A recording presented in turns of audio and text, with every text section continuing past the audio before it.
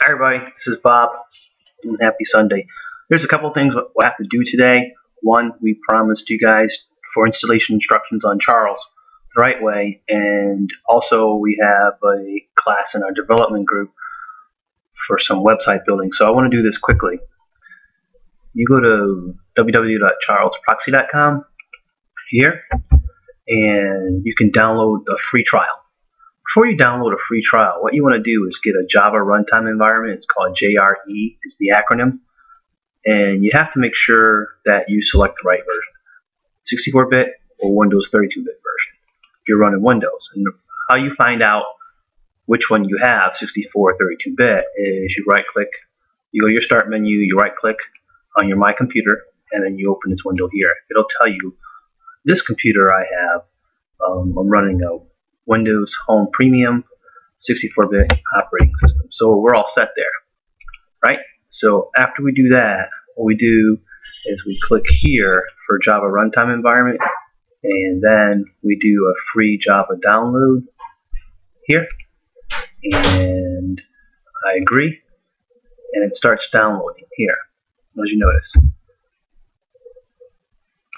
When it's completed downloading, what you do is you click here and it's going to run. You install it into its default folder.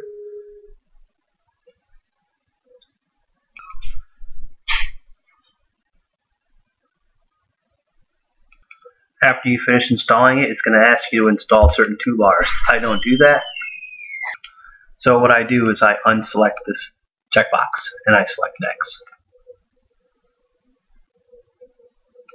So as you notice, it's, it's installing Java runtime environment and it has a Java installing as well. Hold on a second.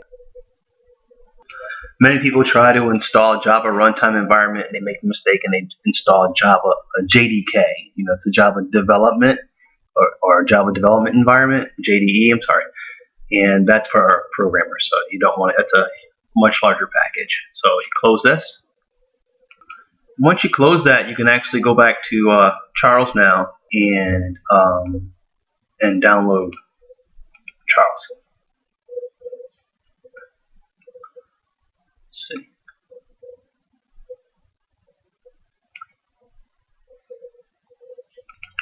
So here we are. So we installed the 64-bit run, uh, Java runtime environment, JRE. Now we're going to click and install Charles 64-bit.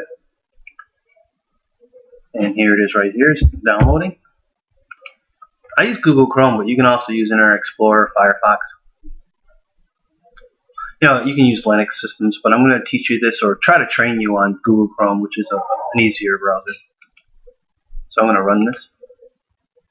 The reason why it's easier is because there's certain additional components that you have to install, usually on other um, browsers, depending on your operating system and it's installing and I'm going to click finish. And now since it's finished I'm going to go to my menu and Charles icon and there should not be an error. If you did not install you'll notice after the installation it'll ask you if you want to install an add-on for Firefox. And you say yes. I didn't get any errors and there's Charles installed.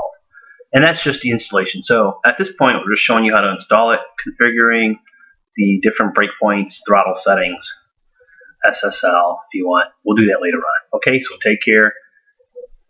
Have a good day. Bye bye.